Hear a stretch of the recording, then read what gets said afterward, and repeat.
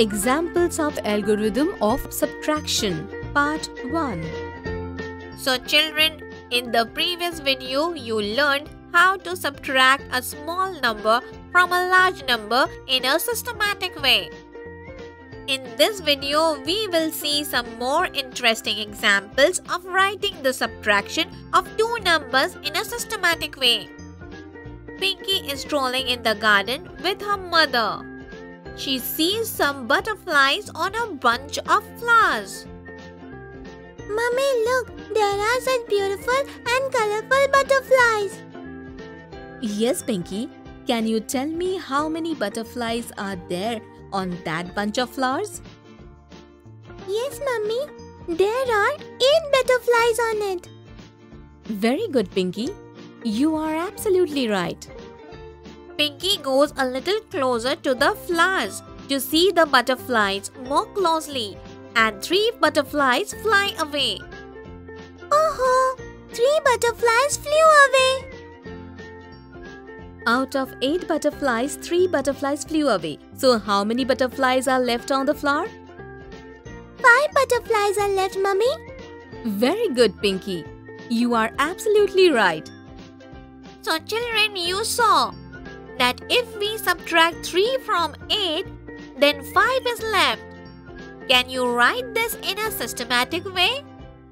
Yes, this is how we will write it in a systematic way. 8 minus 3 equals to 5. Friends, do you know that we can write this in another way also? You don't know? Don't worry, I will tell you. We can also write it in this way. First, there were a total of 8 butterflies. So, we will write the total number on top. Then, 3 butterflies flew away. So, below the total number, we will put the subtraction sign and write the number that got reduced. Then, we will write the remaining number, which is 5 butterflies. So, children, from 8 butterflies, 3 butterflies flew away. So, 5 butterflies were left.